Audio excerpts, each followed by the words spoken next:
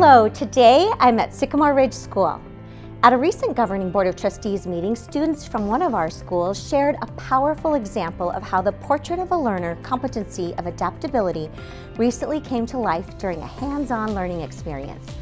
Their teacher gave them a task to build a machine to accomplish a specific goal.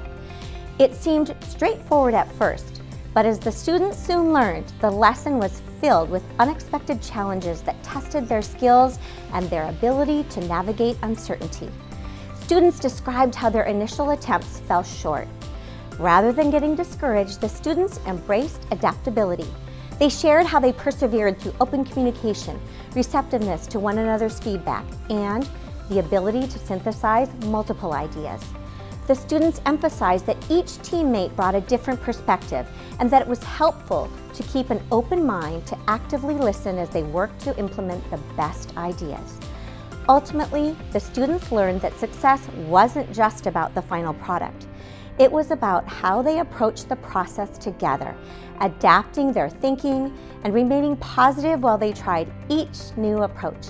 This learning experience highlights the important role that adaptability plays not just at school, but in life. As one of the students shared, you might get a math question wrong or you might make the wrong pass in a soccer game, but when something doesn't go as planned, you can always use it as an opportunity to learn and improve. We are thrilled that our students are embracing adaptability as one of the core competencies in our Portrait of a Learner as they prepare to thrive in an ever-changing world. We are DMUSD, a great place to be.